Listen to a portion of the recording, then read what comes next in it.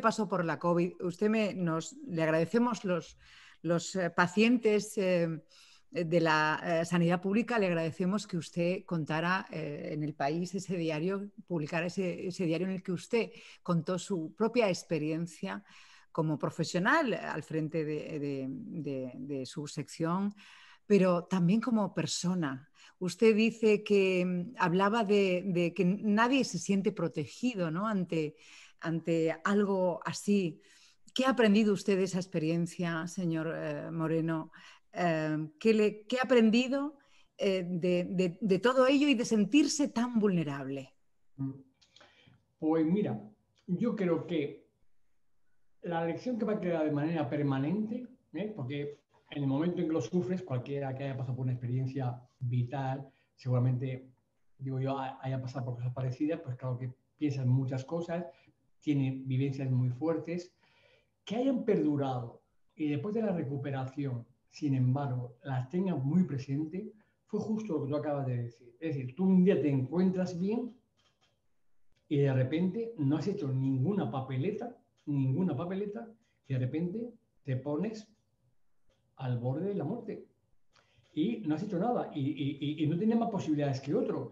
Y de repente te das cuenta que, chico, estoy sano y estoy bien, pero he dejado de estarlo. ¿eh? Y entonces, y cuando luego me recuperé, digo, anda, pero espérate, me he recuperado, pero esto no es garantía de nada. Mañana me puede aparecer otra cosa. Pasado mañana puedo cruzar la calle y me pilla un coche. Dentro de un mes, aquí me diagnostica un cáncer entonces, eso que tantas veces decimos, no somos nadie, hoy estamos aquí, mañana ya no estamos, ¿eh? Tal, de repente te das cuenta que es verdad.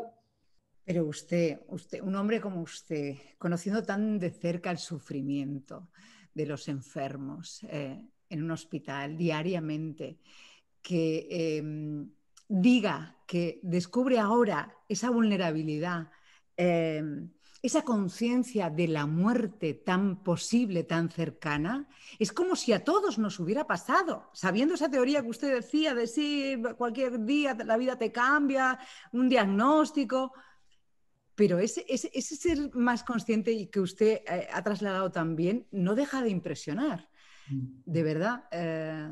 Claro, y que te das cuenta que no es nada. Es que te das cuenta, y, y, y, lo que a mí me pasaba por la cabeza en los días que estaba en la UCI y estaba consciente madre mía, madre mía. Y, ayer, oye, espérate, y me puedo morir, claro me puedo morir, tengo la COVID, y estoy aquí en la UCI, ¿cómo no, me cómo no voy a poder morir? Y de repente dice, chico, o sea, estando como estaba hace cinco días, como Dios de bien, y ahora en esto, ay chica, eso, eso, eso, adquirir conciencia de eso, no te cambia la vida, ¿eh? que lo hace la misma tontería de siempre, ¿no? sigue siendo el mismo, comete los mismos errores, ¿eh? Pero, pero sí, el pensamiento está ahí, ¿sabes?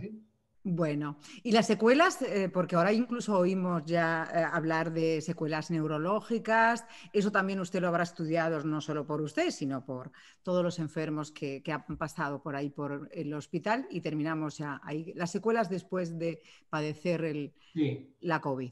Afortunadamente la inmensa mayoría de la gente se recupera bien, ¿eh? sin secuela ninguna, como comentábamos antes, hasta donde sabemos. ¿eh? Si a mí, oye, ¿y tú crees que te has quedado ese secuela? Digo, no, chica, sé que al día de hoy aparentemente no tengo ninguna. Si esto deja algo a más largo plazo, ya lo sabremos, pero de momento no. Y efectivamente, la inmensa mayoría de la gente se recupera sin secuela y eso es una tranquilidad para lo que hemos padecido la COVID. Hay, sin embargo, hay, sin embargo, personas que sí, que siguen teniendo secuelas. Las más frecuentes son las pulmonares. En algunas personas que tuviesen un daño, tuvieron un daño pulmonar muy importante, pues le queda ahí un, cierto daño ya no, no eliminable.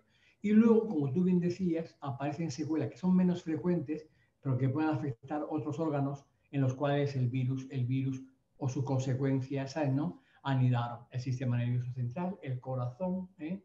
el corazón, la masa muscular, cansancio, ¿eh? hay quien no llega a recuperar el olfato por completo, ¿sabes? Eh? Que, sí que puede dejar secuelas absolutamente poco frecuentes. En fin, que aquellos que dudan, eh, que se pasen por un hospital, ¿verdad, doctor Moreno? Y que vean lo que ustedes ven a diario. Nuestro agradecimiento a todos los sanitarios, a todas las personas que en primera línea luchan primero por salvar las vidas de tantas personas y segundo por investigar y porque mm, todo avance, sepamos más del virus, sepamos más de las infecciosas, sepamos más de los test que nos podamos hacer cuanto, cuanto antes mejor todos y para eso se requiere investigación. Muchísimas gracias, doctor Moreno. Un placer eh, pues haberle escuchado en este tiempo, de verdad. Muchas gracias a ti, Isabel, y gracias de parte de todos mis compañeros por tu reconocimiento. ¿eh? Muchísimas gracias. Un abrazo. Hasta siempre. Hasta siempre, hasta pronto.